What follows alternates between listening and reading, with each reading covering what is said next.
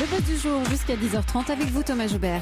L'offensive israélienne à Gaza a déjà fait plus de 670 morts côté palestinien et 31 côté israélien. En réaction à cette guerre, les manifestations de soutien à Gaza se sont multipliées ces derniers jours en France.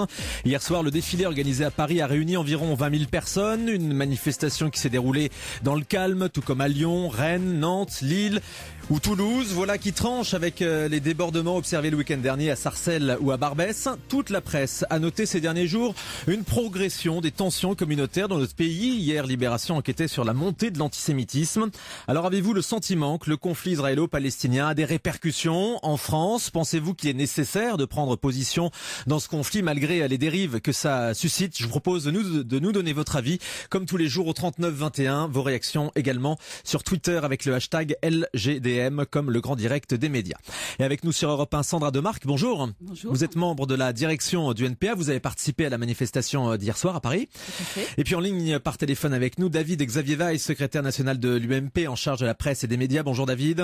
Bonjour. David Xavier, vous êtes très virulent ces derniers temps à l'égard des, des, manifestations pro-palestiniennes euh, quand on, on, vous suit sur les réseaux sociaux. Vous avez vu hier soir tout s'est bien passé, on, on, peut manifester son soutien pour Gaza sans que ça dégénère hein? Non, pas forcément. Alors, il faut quand même être euh, un peu honnête. Il y a eu quand même 2000 personnes, 2000 policiers qui accompagnaient et encadraient, ou du personnel d'encadrement, ça voudrait dire que si on prenait les, les exemples de manifestations euh, qui avaient eu lieu pour les retraites, où il y avait eu un million de personnes dans la rue, ça voudrait dire qu'il fallait 140 000 policiers pour encadrer euh, ces manifestations. Donc on voit bien qu'il y avait un taux d'encadrement très largement supérieur. Je comprends pas trop votre calcul. Euh, à, à il y avait aussi les services de organisés. il y avait aussi les services de sécurité.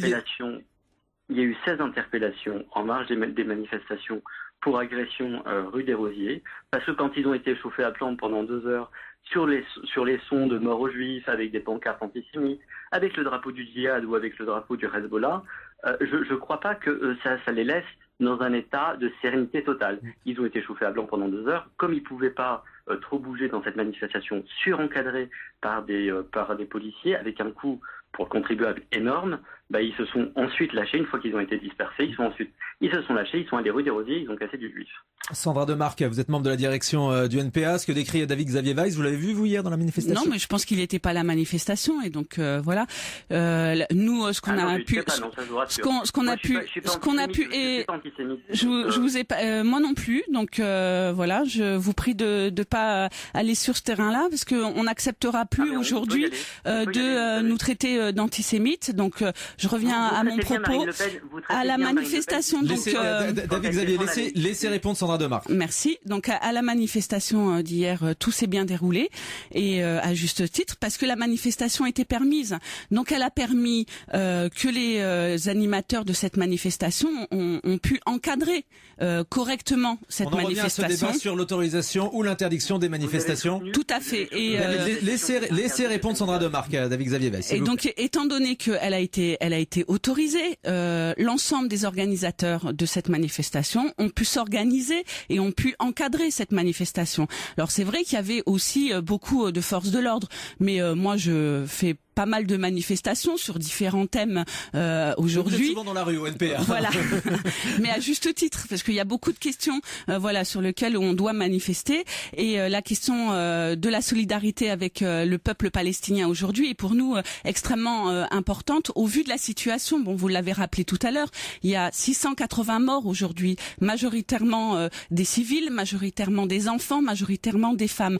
Et aujourd'hui, exprimer sa solidarité est un droit pour nous euh, le plus élémentaire. Oui, David Xavier Weiss, on a le droit de manifester en France.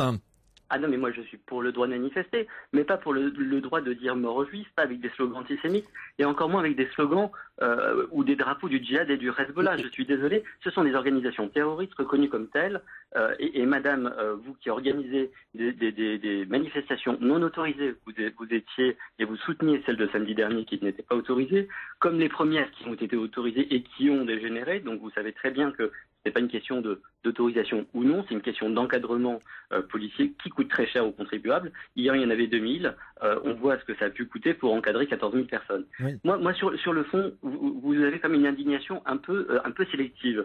Vous vous indignez de ce qui se passe en Palestine. Pas un mot sur les chrétiens euh, d'Irak et de Syrie, ça vous en foutez visiblement. Pas un mot euh, quand les, les, musulmans islamistes euh, le fils en Algérie martyrisé des Algériens, ça vous en foutez aussi sur Boko Haram où vous entend pas non plus. Donc c'est une indignation simplement quand on peut casser du juif. Sandra Demarque vous répond. Quand le prétexte, le, quand le prétexte, c'est on peut être antisioniste, donc indirectement antisémite. Vous savez, c'est pas moi qui le dis, hein, c'est Jean Kelevitch qui était, euh, qui était philosophe et qui disait l'antisionisme, c'est le moyen le plus euh, légal d'être antisémite. on, laisse répondre Sandra Demarque. Le mouvement de solidarité, l'ensemble du mouvement de solidarité euh, aujourd'hui avec euh, le peuple palestinien n'est pas antisémite.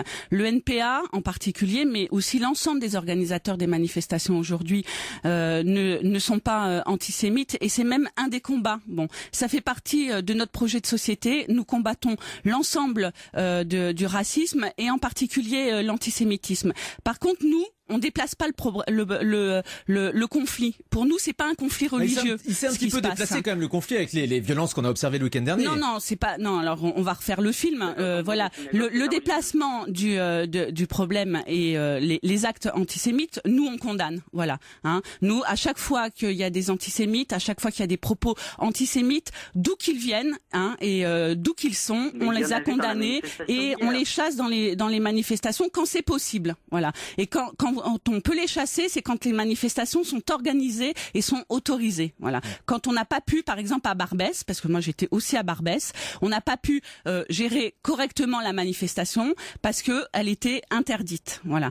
Donc nous, pour nous, euh, aujourd'hui, euh, déplacer ce conflit qui est pour nous un conflit politique, on n'en fait pas une question religieuse. Voilà. Et les tensions communautaires, elles sont pas exacerbées par ces manifestations? Elles sont exacerbées pas par le, pas par les manifestations elles sont exacerbées par le gouvernement euh, en premier lieu. C'est ce gouvernement qui, dès le départ, dès euh, l'offensive euh, de, de l'État d'Israël dans la bande de Gaza, a soutenu, hein, en reprenant la rhétorique de l'État d'Israël, hein, en soutenant cette offensive et en déplaçant dimanche, il y a quand même eu quelque chose, enfin, de, de purement scandaleux de la part de Valls et de Hollande, c'est d'assimiler la lutte et la solidarité avec de l'antisémitisme au moment même de l'anniversaire de la Ralph du Veldi. en même temps, David Xavier le rappelait, on a vu euh, ces slogans, on a vu des, des, panneaux dans les manifestations du week-end dernier, un petit peu moins hier soir, euh, effectivement. Mais enfin carrément moins hier soir. C'était ultra minoritaire hier soir. Hein.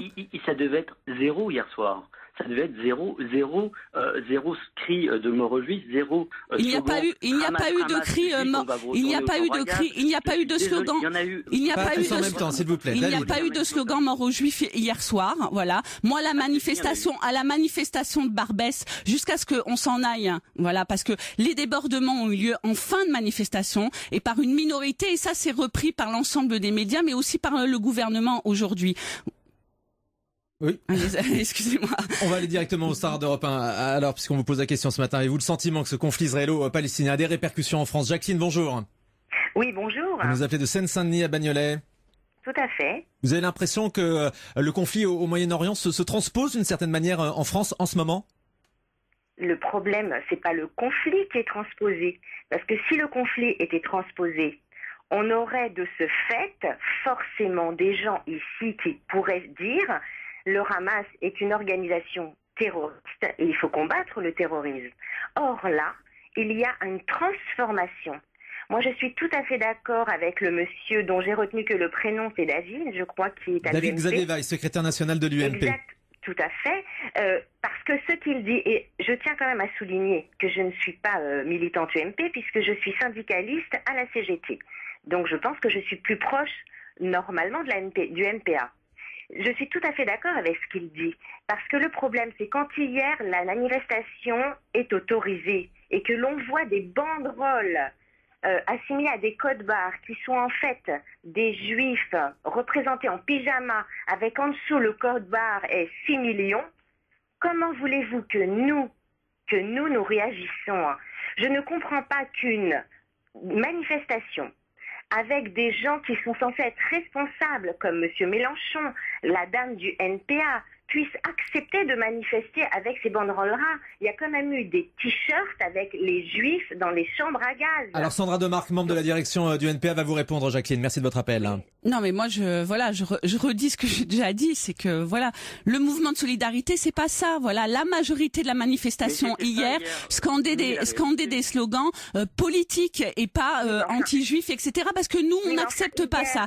Et par ailleurs, cette cette guerre n'est pas une guerre contre le Hamas, mais c'est c'est une guerre contre l'ensemble du peuple palestinien aujourd'hui. Là, Jacqueline. madame, je pense que vous vous trompez. Allô Oui, oui. Excusez-moi. Là, madame, je pense que vous vous trompez là-dessus. Et, et ça, je n'ai pas envie de discuter du conflit.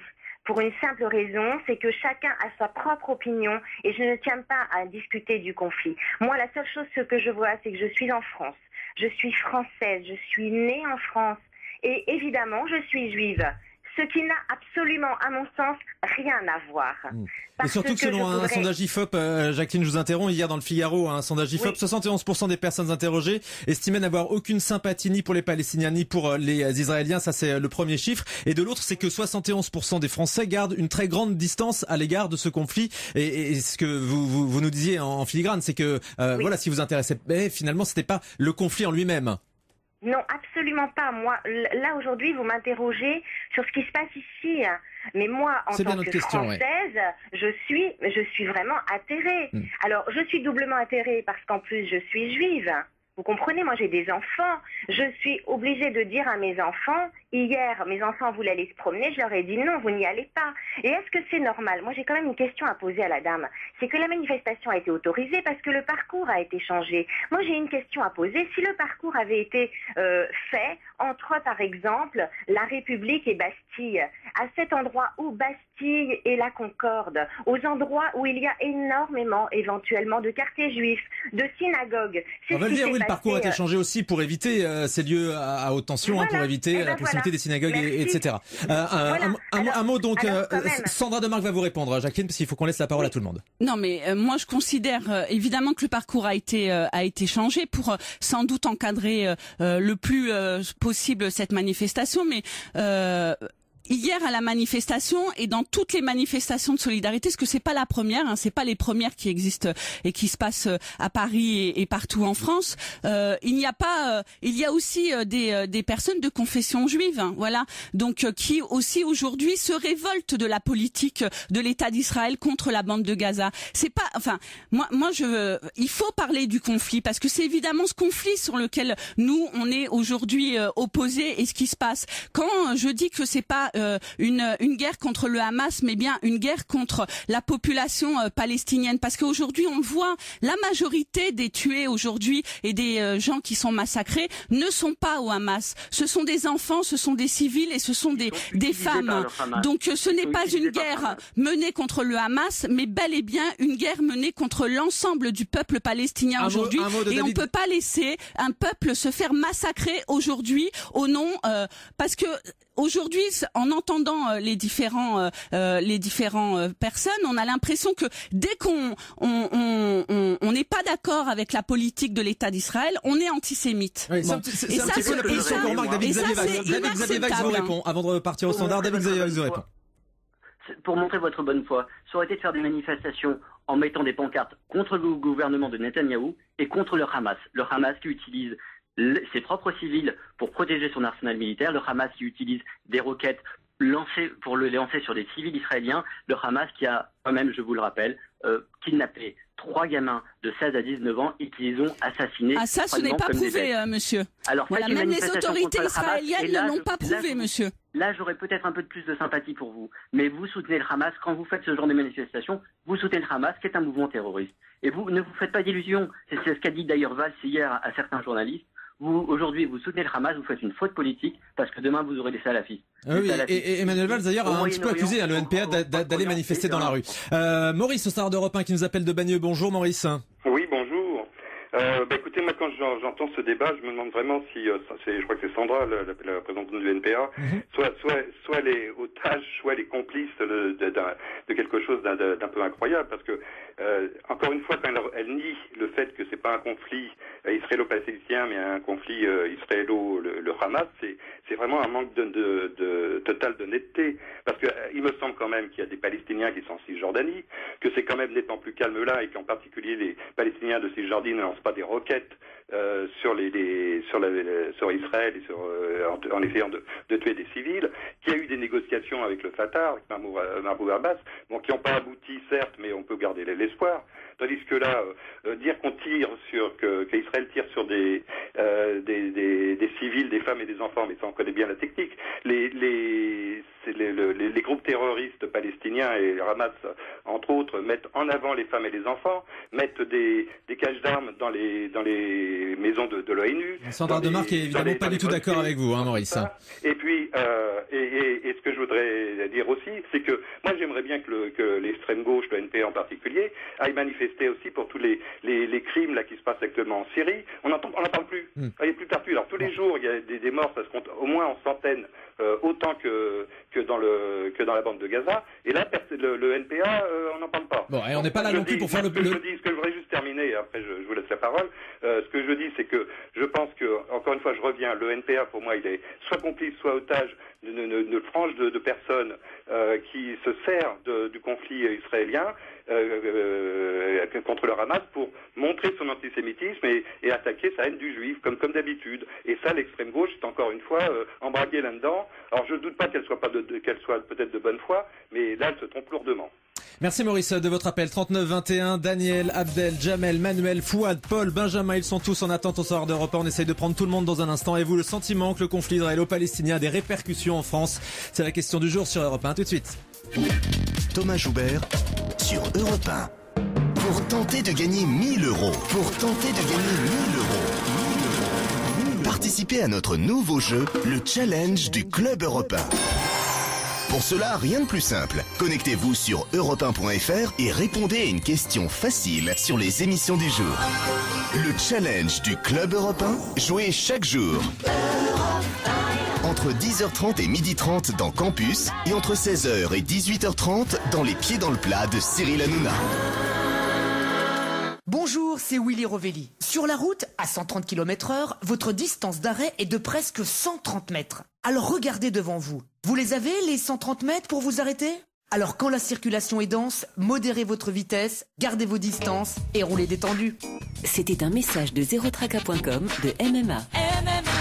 Bordeaux rosé. De l'ampleur, des fruits et une fraîcheur. Bordeaux rosé, Bordeaux, mais rosé. Pour votre santé, attention à l'abus d'alcool. Montez le son de votre radio, montez, montez Il y a un nouveau prix inratable chez U C'est au rayon fruits et légumes. Le kilo de pêche jaune ou blanche calibre A catégorie 1 origine France est à 1,49€ seulement. Répétez ça 1,49€ le kilo de délicieuse pêche bien parfumée. Eh, si ça c'est pas de l'inratable, alors là, moi je sais plus ce que c'est, hein, alors franchement. C'est jusqu'à samedi dans les hyper U et super U participants. U, les nouveaux commerçants. Europe 1. Le buzz du jour jusqu'à 10h30 avec vous Thomas Joubert et cette question. Avez-vous le sentiment que le conflit israélo-palestinien a des répercussions en France? Vous nous en parlez avec vos invités Sandra Demarque, membre de la direction du NPA et David Xavier Weiss, secrétaire national de l'UMP. Et Jamel, et Jamel au standard d'Europe 1 qui nous appelle de Brest. Bonjour Jamel. Oui, bonjour. Alors euh, moi je vous appelais donc j'écoutais avec attention tout ce qui s'est dit depuis le départ et à, la, à votre question est-ce que le conflit s'importe en France? Fatalement, si on allume la télé, on regarde ce qui se passe, oui, ça s'importe, les esprits sont échauffés de part et d'autre. Je pense surtout aux jeunes, euh, bah, aux jeunes pro-palestiniens, enfin, qui manifestent dans, le, dans les manifestations pro-palestiniennes. Euh, que je trouve que c'est pas très intelligent. Enfin, je m'adresse à ceux qui font euh, les bêtises, on va dire, à attaquer des synagogues, tout ça, tout ça est vraiment contre-productif. C'est vraiment stupide que de faire ça. Ça donne une mauvaise image de bah, de tous les gens qui sont originaires du Maghreb ou ceux qui sont sympathisants pour la Palestine. Et vous condamnez ces actes évidemment Bien sûr, parce que c'est vraiment stupide, c'est pas comme ça qu'il faut s'y prendre, il faut vraiment faire ça plus posément, intelligemment, et puis relever les choses qui sont, bah, qui peuvent vraiment donner, euh, donner du poids, quoi. Moi, si je vous ai téléphoné, c'est un exemple, c'est quelque chose, par exemple, moi qui, qui m'a retenu euh, depuis que ça a commencé, ce sont les propos de certains élus, de certains hommes politiques, et parmi, j'ai relevé quelque chose, donc c'est sur le net, ça circule sur le net par exemple. C'est un personnage euh, public, en fait c'est monsieur Jacques Renault, donc qui est maire adjoint à, à Montreuil-Juigné, 49 460 dans le code postal, être précis. Donc ce monsieur donc est en charge de diverses choses, de transport voirie et entre autres conseiller communautaire à Angers. Si j'ai relevé cette personne par exemple, c'est parce que euh, je trouve euh, vu sa fonction, je trouve euh, complètement incroyable qu'il puisse, par exemple, donc c'est un tweet où il communique avec une autre personne, Donc ce monsieur, Jacques Renaud, il dit je sou- un grand soutien à tous les juifs de France attaqués. Nous sommes au XXIe siècle. Un peu d'humanisme et du suffi et du civisme serait le bienvenu. Donc ce monsieur apporte son soutien. Il n'y a pas de problème. Chacun vraiment. Oui, jusqu'ici tout va bien. Voilà. Alors qu'est-ce qu'il a écrit de choquant? Donc là avec l'autre personne, en fait, il s'agit d'une photo donc dans un hôpital à Gaza où des médecins portent à bout de bras, donc la photo est floutée parce que ça doit être horrible, un enfant, un bébé, donc qui, doit être déchiqueté. Donc l'autre euh, et en fait, si vous voulez, donc par rapport à la photo de l'enfant euh, ensanglanté, tout ça, l'autre personne elle, dit comme ça, oui, euh, vous avez vu la photo. de, de cet enfant en gros? Et donc la personne elle répond il s'agit sans doute de viande halal. Veux Évidemment, des propos extrêmement choquants. Euh, Merci, merci beaucoup, Jamel, euh, de votre appel. J'ai beaucoup euh, d'appels au standard, donc on essaie de prendre tout le monde. Fouad nous appelle de Strasbourg. Bonjour, Fouad. Oui, bonjour. Euh, donc moi, en fait, euh, je suis pas du tout d'accord avec euh, les deux personnes qui ont parlé de... euh, euh, tout à l'heure, je crois que c'est David. David Xavier Weiss, Moi, oui, fait- secrétaire national de l'UMP. Ouais, voilà. Donc moi, en fait, je suis pas, tout de- pas du tout d'accord. Moi, pour moi, les premiers importateurs du conflit, c'est le gouvernement, Monsieur Hollande et Monsieur Valls qui sont permis. Euh, Monsieur Hollande, je vous le rappelle, qui a dit, euh, qui a demandé à Israël de modérer ou de se retenir. Pour moi, c'est c'est un appel à, la- c'est une carte blanche qu'ils leur ont lancée. Monsieur Valls qui, euh, a affirmé sur Radio Judaïka son soutien conditionnel aux Juifs et à Israël. Aux Juifs, il n'y a aucun problème. Par contre, à Israël, comme c'est des histoires politiques, donc euh, quelque part, on se dit que si aujourd'hui ils ont interdit la manifestation, c'est parce qu'il est lié à Israël. Euh, et pour moi, les, trois importateurs du conflit, c'est euh, le gouvernement, euh, le CRIF et la LDJ, la Ligue des défenses juives. On n'en parle pas beaucoup. Mais à chaque manifestation, on est là pour faire des ratonnades. C'est sur leur site, sur leur Facebook. Ils le disent, hein, ils se cachent même pas. Euh, Il y a des copies écran, on peut tout dire, mais on n'en parle pas. Et on remet ça sur la faute des manifestants. Sur ce qui s'est passé euh, au niveau de la synagogue, il y a des vidéos qui tournent. Qui, on voit clairement que euh, il n'y a pas de manif dans la rue de la Roquette. Il n'y a pas de manifestation pro- euh, de manifestants pro-palestiniens au début dans la rue de la Roquette. Si ce n'est, on voit des, euh, des jeunes de la FDJ euh, démolir un restaurant et, euh, et aller chercher des manifestants pour les ramener vers, euh, vers la synagogue. Mais jusqu'à preuve du contraire, on a vu des CRS devant la synagogue. Moi, Bon, ce, qu'on voit, c'est que les tensions sont totalement exacerbées. exacerbées. Merci, Fouad. Manuel nous appelle de Strasbourg. Bonjour, Manuel. Oui, bonjour Thomas. De Strasbourg aussi, hein, comme une fois apparemment. hein. Exactement, Alors, oui. Moi, euh, je, je suis enseignant et j'ai en face de moi euh, des enfants euh, qui deviennent des adolescents. Et si euh, je voulais juste donner mon, mon témoignage, je vais dire rapidement que euh, lorsqu'ils arrivent euh, au collège, euh, ils sont tous d'accord pour dire que ces deux peuples sont issus d'une même région, que leurs deux religions sont peut-être issues du- d'une même croyance. Et puis lorsqu'on arrive en troisième avec le génocide, etc., eh bien ils ont, il y a quelque chose qui s'est passé. ils sont passés par les réseaux et, ils ont l'impression que une injustice règne et que la France ne, ne- soutient que qu'Israël, quoi qu'il arrive.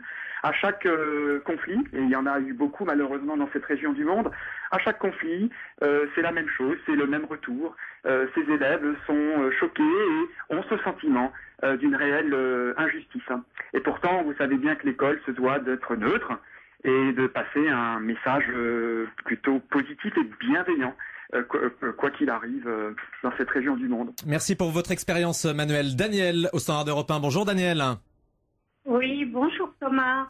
Euh, oui, je voudrais intervenir en partie euh, sur euh, certaines, euh, sur euh, comment dire, excusez-moi, je perds mon latin. Bon, bref, je voulais simplement vous dire que euh, on laisse entendre à certaines personnes, à la population française, comme quoi que le conflit a démarré après l'assassinat des trois jeunes Israéliens. Mais en réalité, ce que les médias oublient de dire et de faire savoir à la population, c'est que des roquettes pleuvent depuis des mois sur Israël sans qu'Israël n'ait bougé. Donc il y a, vous savez, aucun pays au monde n'acceptera cela. Israël a, eu une retenue.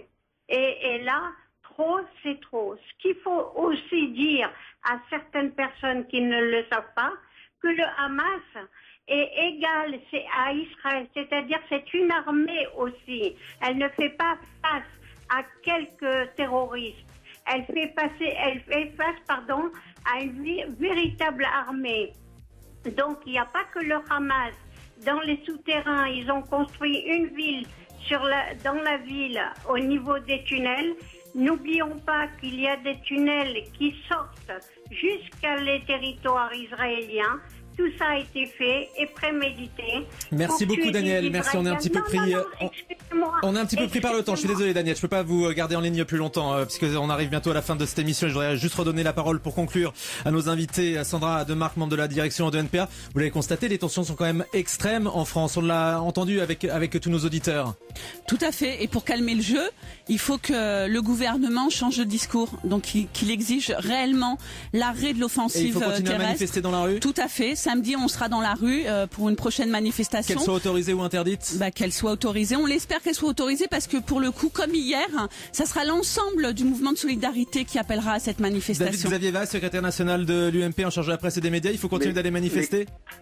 Mais comme Sandra et le NPA ne veulent pas manifester non plus contre le Hamas, qui est un mouvement terroriste, ça restera une manifestation purement et simplement antisémite, sous couvert d'antisionisme, c'est tout. Voilà, il faut qu'elle assume. Il faut assumer l'antisémitisme, c'est pas parce que c'est condamné par la loi. Hier, vous avez de toute façon euh, appelé au boycott d'Israël. C'est condamné par la loi et par le code pénal. Merci à tous pour, euh, pour ce débat. Il y avait encore euh, beaucoup d'auditeurs au sein d'Europe 1. Paul, Benjamin, on n'a pas pu prendre tout le monde, mais on réouvrira cette question de société qui vous passionne. hein. C'est vraiment le sujet d'actu en cet été, un, un été brûlant avec cette question. Avez-vous le sentiment que le conflit israélo-palestinien a des répercussions en France? Merci beaucoup d'avoir été ce matin en direct sur Europe 1.